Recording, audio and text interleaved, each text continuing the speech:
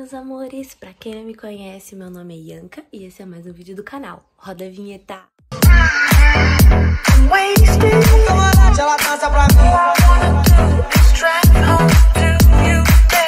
Gente, como vocês podem ver, eu não tô falando tão alto porque as meninas estão dormindo, né? Agora são 15 para 7 mais ou menos. E deixa eu falar pra vocês.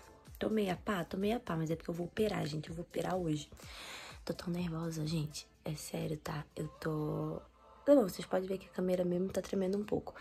Tô até apoiando o braço aqui pra ficar mais de boa. Mas assim, ó. É, hoje eu vou colocar meu silicone. Só que eu não vou apenas colocar meu silicone. Eu vou fazer mamoplastia, gente. Então, é uma cirurgia um pouco mais demorada. Tô me cagando de medo, tá, gente? Tô me cagando de medo. Mas é uma coisa que eu quero, então aturou surta, né? E eu não falei pra ninguém, nem que dia que ia ser, nem nada. Porque eu tava com muito medo de dar errado, gente. Porque tá uma maré de azar sobre mim que vocês não têm noção, tá? Mas eu vou resumir mais ou menos aqui pra vocês como é que foi os exames, tudo que eu fiz, tá? Eu fiz um cardio, uma ultrassom, de da mama e exame de sangue, tá? Um hemograma completo. Foi tranquilo, tá? Deu tudo certo, tá tudo ok. Só meu coração que é trouxa, como eu falei lá na PP Vizinho. Mas isso amor próprio resolve, né? Então, assim, gente, tô ansiosa, tô nervosa. Faz dois dias que eu não durmo direito, tá? Essa noite mesmo eu cheguei a sonhar, eu cheguei a sonhar, eu sonhei que eu cheguei lá e eu comi, eu tomei champanhe e comi bolacha. E eu tenho que estar tá em jejum, né, gente? Então, baita sonho aleatório, mas enfim. Vou mostrar tudo pra vocês, e seja o que Deus quiser, eu amo muito vocês. Se eu tô podendo realizar esse sonho meu, é graças a vocês também. E é isso, gente, as meninas vão ficar com meu irmão, meu irmão vai dar uma olhadinha nelas, a minha mãe vai me levar lá.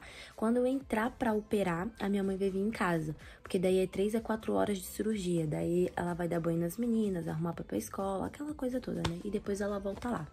É pra mim sair da cirurgia até uma hora, né? Se vai correr tudo bem, vai Deus vai botar a mão dele na, em cima da mão daqueles médicos, né? Pra mim sair até antes se precisar, tá? E é isso, gente. Tô com medo, tô com medo. Meu tá? Que não sai, não passa nem sinal do Wi-Fi, tá? Não passa, não passa. Eu vou mostrando tudo pra vocês. Família, já tô dentro do carro com a Mamis. tô ansiosa, tô ansiosa, tô com dor de barriga, caguei duas vezes ontem. Porra, tudo isso? É sobre isso, gente. Melhor coisa dessas coisas é poder cagar, porque eu cago uma vez por mês. Então, gente, é o seguinte, tô indo pra clínica agora. E daí eu vou mostrando tudo pra vocês, como é que vai ser o quartinho lá, mas vocês vão adorar, tá? Sério, tipo, eu tô encantada lá. Aquilo lá nem parece uma clínica, parece um hotel, tá? Um quarto de hotel. A mãe ainda não viu, a mãe ver a primeira vez hoje. Mas como eu fechei parceria com eles, né, eu dei uma olhadinha. É, ah, mas é top, tá? Claro que eu fui a escolhida pra ser acompanhante, né? Não poderia ser melhor, né, a mãe, né? Nenhum traste vai junto, só eu. Mas é... Mãe, mãe é mãe, cara. Mesmo se eu tivesse casada, eu ia querer minha mãe. Eu já falei pra ela isso, ó. Apesar que quando eu botei o meu, né, lá em Floripa, eu fui sozinha, né? Fui com uma colega, não era nem aquela amiga, era colega, né? Mas, Mas eu estava grávida. Tava e ainda, eu, né, mãe? Eu tava grávida e tava com a coluna torta, não tava? Ah. Qualquer coisinha encarangava, gente, tá? Mas ela cuidou de mim depois. Foi ela que cuidou de mim. Ó, viu? Eu fiz meu papel. Mas é isso, gente. Eu vou mostrando tudo pra vocês, tá?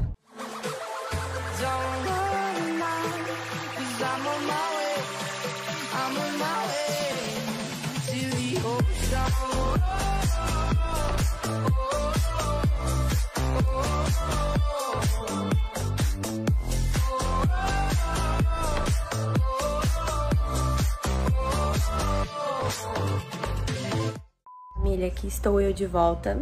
E a Mames e a máquina do café. Já tô doida pegar um lá, mas eu tenho medo de mexer naquilo lá. Ai, meu Deus. Ah, mãe, de novo eu não vou, não. Gente, olha só. É sobre isso, gente. Tô feliz, tô feliz pra caramba. Tô com medo, tô com medo pra caramba. Mas não é sobre isso. O importante é que, né? Tem dinheiro pra pagar, né? Pior é se a gente quisesse pôr e não tivesse dinheiro, né? Deus abençoou, Deus abençoou. Assim, ó, gente, eu já passei por consulta com outro médico, tá? Só que quando eu consultei aqui com o Dr. Laércio, ele me passou uma confiança bem, sabe? Diferente, assim. O atendimento dele é ótimo, ele me tirou todas as dúvidas, ele é bem sincero, tá, gente? Ele é realista, tá? Ele é bem realista. Ele fala, ó, vai ficar assim, assim. Assim, desse jeito que, né, que vocês sonham e tal, não vai ficar. Ele é bem assim. Então me chamou bastante atenção, né? Porque não é daquele que vai te prometer é, dois peitos batendo no queixo, sabendo que vai, né? Não vai bater. E é isso. Vou mostrar pra vocês depois do quarto. Eu vou fazer meu, minha internação ali tudo certinho. E daí eu vou mostrando pra vocês tudo. Dá tchau.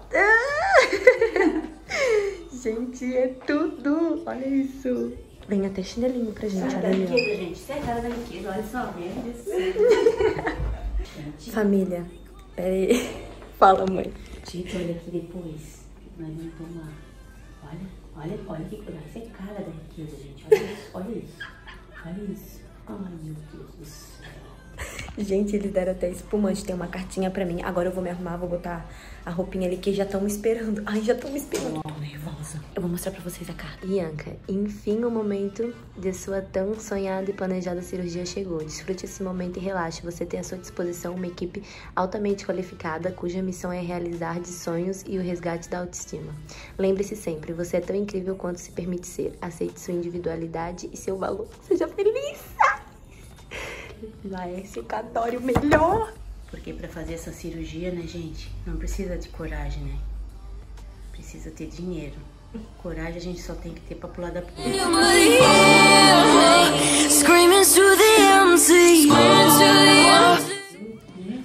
Família, deu tudo certo. Já tô operada. Não me arrependo nem um pouco. Oi, meus amores! Gente, já passou 15 dias que eu fiz a minha cirurgia. É, eu ia gravar todos os dias pra vocês, só que no final não deu certo. Eu sou uma péssima youtuber, tá? Eu sei disso, eu confesso, mas eu vou melhorar, prometo. Gente, deixa eu contar pra vocês. Minha recuperação foi muito tranquila, tá? Ontem eu fui no consultório pra tirar os pontos, é, foi tranquilo também, graças a Deus. Eu sou muito cagona, gente. Assim, ó, eu tenho muito medo, tá? De tudo. Qualquer dorzinha, qualquer coisinha que eu vou fazer, eu tenho medo. Então eu tava, inclusive o dia que eu fui me internar, né? Eu tava muito nervosa, eu não tinha dormido a noite toda também. E só que daí eu tomei um, um comprimidinho, me deram um comprimido. É um sedativo que eles falam, né? E, gente, eu tava conversando com a minha mãe, bem tranquila deitadinha, daqui a pouco eu, eu, dormi. Quando eu acordei, eu já tava siliconada. Só que eles falaram pra mim que eu fui andando pro centro cirúrgico, que eu conversei com eles e eu não lembro de absolutamente nada. De tanto eu ficar forçando para tentar lembrar, eu lembrei de uma parte que foi a hora que eles colocaram o soro em mim e foi bem aqui. Então doeu, sabe? Doeu um pouquinho e eu me lembrei assim, sabe? Só da dor ali, da picadinha também. Mas de mais nada, tá? E foi muito tranquilo, gente, a minha recuperação. No mesmo dia eu ganhei alta, eu já vim pra casa. Eu tive muita dificuldade para dormir, tá? É porque, tipo assim, a gente não pode virar de lado, né? A gente não pode levantar os braços, a gente não pode dormir de bruço. Então eu tive muita dificuldade mesmo para dormir, porque tem que dormir quase sentada, né? Ou se eu deitasse muito reta, com o travesseiro baixo, depois para mim levantar era uma luta. E assim, gente, ó, é... mas assim, ó, tirando essa parte de dormir, foi tudo super tranquilo. Eu coloquei é, 350 ml, perfil super alto, tá, gente? É, eu queria mostrar mais pra vocês, mas não não tem como, mas assim, ó, só com sutiã pra vocês terem uma base. Olhando assim, não parece que ele ficou tão grande, parece que ele ficou pequenininho. Mas assim, quando eu tiro, né, assim, pra mim, dá um, bastante diferença. Mas eu também não queria, tipo, iceberg, né? Eu não queria aquelas montanhas, né? Então, tipo, pra mim tá perfeito. Era bem o tamanho que eu queria. E também por eu ter o tórax fininho, né, não tão largo, se eu colocasse um maior que esse, ia cair aqui pra debaixo dos braços. Então, já não ia ficar legal. Então, o 350 foi o tamanho ideal pra mim. Hoje tem 15 dias que eu operei e tá tudo suaves na naves. É, daqui 20 dias, é, daqui 20 dias eles vão me liberar para dirigir. Eu já fui liberada para treinar perna e abdômen, só que eu não posso forçar o braço, né? Não, não posso treinar braço e nem peito. Mas de resto eu posso voltar a treinar. Mas mesmo assim eu vou esperar um pouco porque eu sou muito cagona. E é sobre isso, tá, gente? É, foi bem tranquilo. Eu consegui comer sozinha, eu consegui é, ir no banheiro sozinha, igual eles falam, ah, é porque tem que ter alguém para te limpar, porque tem que ter alguém para te dar comida. Gente, eu não fiz aquela cirurgia de recuperação rápida. Eu fiz a cirurgia normal. Eu fiz uma mamoplastia com prótese, mas foi a normal. E eu consegui comer, eu consegui ir no banheiro, consegui escovar o dente, só não conseguia arrumar meu cabelo, né? Aí eu tomava banho, eu me lavava, porque não, eu não podia molhar o corativo, então eu tinha que lavar da cintura para baixo só. Então, assim, ó, eu me secava normal, só as minhas pernas, que daí a Ana que tava secando pra mim, a Ana me ajudava no banho.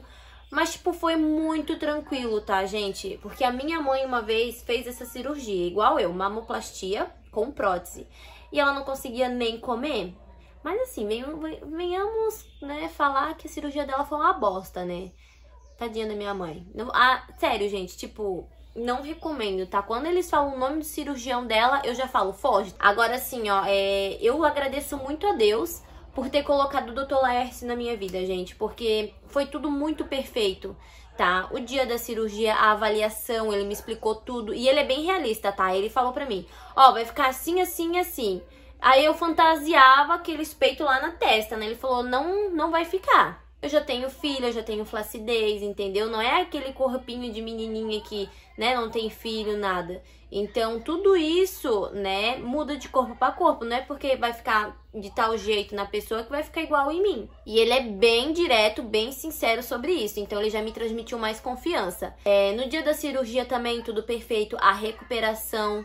Gente, assim, ó, numa escala de 0 a 10 de dor, eu vou falar para vocês dois. Porque o que me doía mesmo era a minha coluna e a minha bunda. Eu já não tinha bunda, né? Daí eu deitada amassando a bunda, agora mesmo que literalmente eu não tenho nada, né? Mas enfim, né? Eu vou treinar, eu vou conseguir. Gente, é isso, assim, ó. Eu vou finalizar esse vídeo pra vocês, só com o depoimento aqui, né? Meu depoimento de como é que foi. Muita gente tem medo. É, antes de colocar o meu silicone, eu vi vários vídeos Primeiro eu fui lá, paguei, aí depois eu fui começar a ver vídeo. Porque se a gente vê vídeo antes de pagar, a gente já fica com medo e não faz. E eu vi muito relato, assim, de várias meninas que sentiram dor, que sabe? Meu Deus, falaram que era horrível. Eu tomei anestesia geral, tá, gente? Eu vi um vídeo de uma menina que falou que também tomou anestesia geral e ficava e ficou com muita tosse, a garganta irritada, porque a gente é entubada, né? Então eu também tava com medo disso, mas cara, quando eu acordei, é, eu não consegui falar assim de primeira. Eu tive, tipo, a minha voz saía meio falhada. Eu acho que por conta da anestesia geral, né? Que eu fui entubada. Mas nada de ficar tossindo, essas coisas. Então, assim, ó, gente, é de corpo para corpo. Não é porque o meu corpo reagiu de tal forma que o de vocês também vai reagir igual, sabe? Então, pra quem tem o sonho de colocar, não tô influenciando ninguém a botar silicone, tá? Mas pra quem tem o sonho de pôr, é, e fica pesquisando ali na internet, sabe, vendo vários depoimentos frustrantes, porque a maioria é frustrante, né? O que eu vou falar para vocês é para vocês não ver, descartar tudo isso, sabe? Porque se eu fosse atrás de tudo que eu vi, eu não teria colocado silicone, tá, gente? E foi muito tranquilo. Tá, eu acho que quem vai colocar só o silicone é mais tranquilo ainda, porque o meu corte, ele ficou um T. E, tipo assim, ó, o doutor, ele diminuiu o bico, do meu peito.